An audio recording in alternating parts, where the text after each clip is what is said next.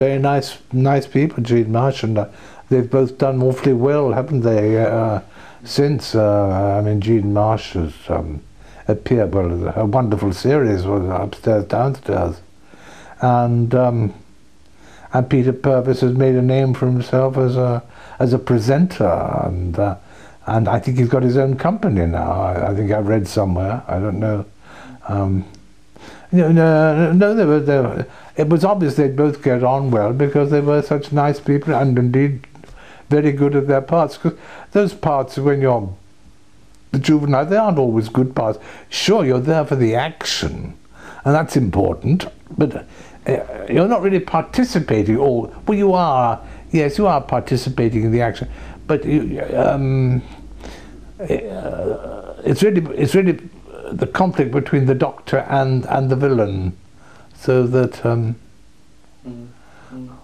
Your, your character in Dalek Master Plan uh, was called Mavic Chen, and it had the grand title of being guardian of the solar system. That's right. I mean, was this? Uh, it was quite a, a, big part you had as well in, in the master plan. Well, th- there weren't many lines, you know.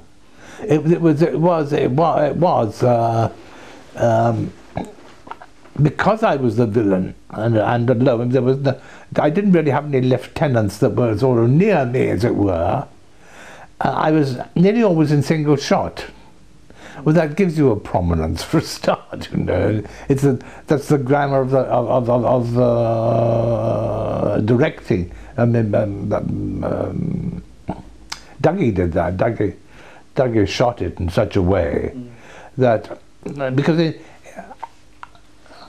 to the best of my memory, I'm sure I'm right in saying, you can be awfully that because the part had a significance, um, it was a very, very good part, but it, there was nothing much to say in it.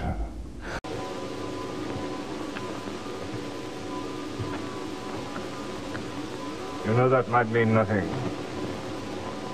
You realize the Daleks might just assemble a force and conquer us? Now, there'd be nothing we could do. We still have the power. Where?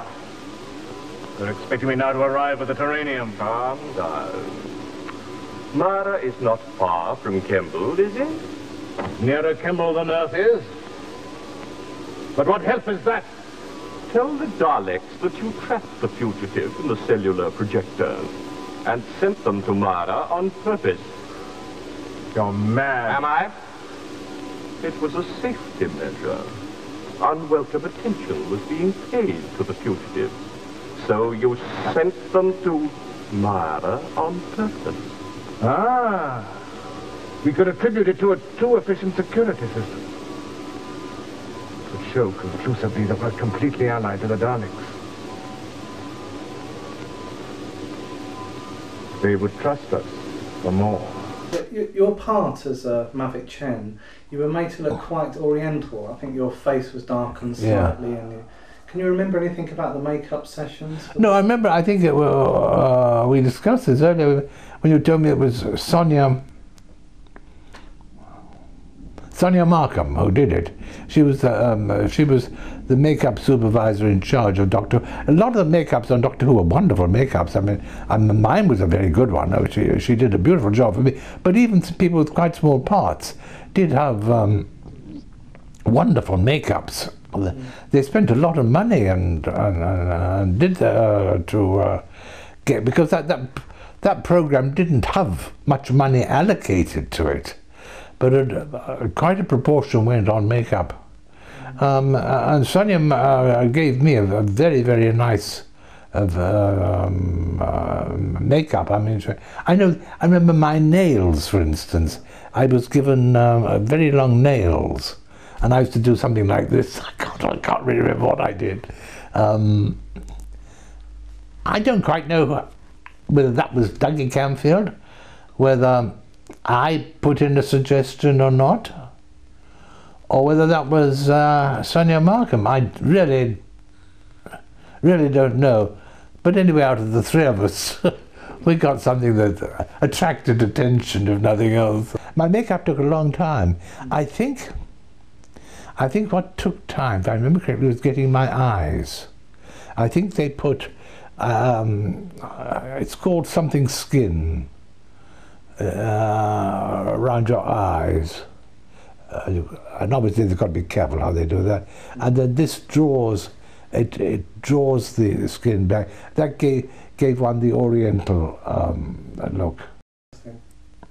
Um, tell us again about this 1965 award you got for being Villain of the Year. Well, um, uh, but I didn't get any award.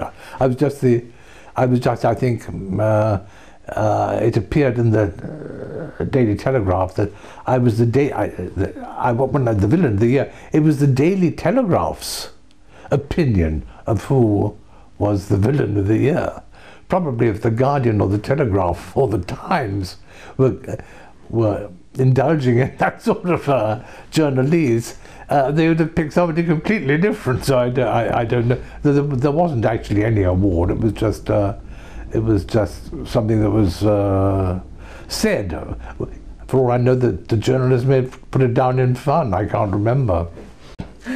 So, have you have you got any memories of uh, working with Nicholas Courtney on Master Plan? You probably won't. Well, I'm, I know Nicholas very well. I mean, I can't remember now. Funnily enough, I haven't seen all that. I haven't seen hardly anything of him since. And that's 35 years ago. But up to then, we seem to know each other very well. Maybe it's because we knew each other very well, because, um, whereas most people, uh, you know, it's a turnover every week. Most people just came in for the week, whereas Nicholas was in it every in every episode, just as Bill Hartnell and uh, Jean Marsh and Peter Purves. Uh, so um, uh, those people you get to know obviously very well. Um, and I, I, I, uh, knew Nicholas very well. I think I also knew, I think Nicholas's sister was a girl named Susan Courtney, I think. And she was at the same drama school that I was at.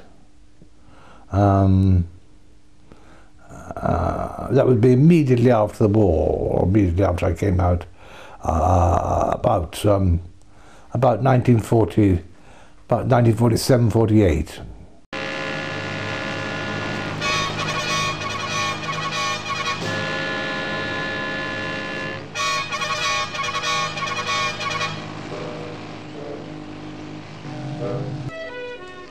Morning, Sir Gerald. Good morning. I'm Gifford, security. Can I see your pass, sir? Oh, yes. Sorry, but I have to check everyone. There you are. It's all right. Yes, thank you. The testing area is two miles further on. I'll escort you to the gate, sir. Right, fine. When I read the Doctor Who script, I thought, ah, I, th- I thought uh, Tobias Vaughan on the page was a much better part than Mavic Chen. In point of fact, looking back on Mavic Chen, Mavic Chen was a very good part because of, of his positioning, his geography in the in the in the in the in the play. But um, uh, for words and for some one or two very nice lines, um, uh, Tobias Vaughan was a very good villain's part. It was uh, because he, because he had everything. He had a lot of charm and he he had uh, fun. And and he really was no so swine. I mean, there was uh, when it came to it, it was, I was utterly ruthless. You and your friend the doctor have caused me some considerable trouble today. First he breaks into this building, and then you ruin a very expensive device. Only because the stupid thing wouldn't tell us what we wanted to know. Ah, yes, Miss Watkins. You're concerned about your uncle, aren't you? I'd like to know where he is, yes. He's perfectly well, I assure you. Although a little, uh, uncooperative at the moment. Your visit here is no stop at Shoe. I think you can be very useful to me. Me? But, but how? Your uncle needs to be persuaded to continue his work for me. But I can't do anything about that. No, but I can now. Packer, I'd like you to take care of these two young ladies, please. Take him. No, you think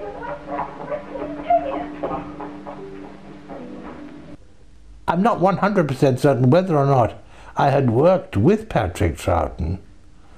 Um, I'm not certain before the do- uh, what, what are the, the Tobias Vaughan thing. thing. I'm sure I hadn't. But I, I, but I did know him so well from uh, with, without being friends exactly. We were just sort of acquaintances who would run into each other often. Pro- probably probably be both back to a glass of beer after the show or something like that. You still think you have a chance? Yes, if you'll help us. Help you? Why should I? But to save us, to save yourself. And if I survive, what future have I, Doctor? What will the world do with me? Oh, for heaven's sake, stop thinking about yourself. Think of the millions of people on Earth who are about to die. Appealing to my better nature. No. If I help you, it'll be because I hate them. The Cybermen, my allies. You think I'm mad? That all I want is power for its own sake? No, I have to have power. The world is weak, vulnerable, a mess of uncoordinated and impossible ideals. It needs a strong man, a single mind, a leader. Vaughan, will you listen? Right. I'll help you to destroy them because I hate them. They destroy my dream. Doctor, Uh, yes, Brigadier. we have a chopper in the area. Can you get up to the roof? Yes, yes, we'll wait there for you. Wilco, out. Your unit friends are very efficient. I'll lead the way through. No, no, no. I'll take that. The Cybermen will be guarding the radio transmitter. the budget for filming is very little, and the director has to make snap decisions. And I was always surprised, not just at the scenes I was in, but at all Dougie's filming, how when he had these very restricted conditions, very little time, and I mean, if I think that. Um, and they had no uh, what's the word um, if anything went wrong like suppose there was a downpour of rain they couldn't shoot or something like uh, there was no facility no arrangement for them to come back another day to make that it, because everything had to be done on time and I think then they just have to the, uh, find something else. Instead of that little clip of film they were putting in they'd have to find some way around it and rehearse it and do it in the studio.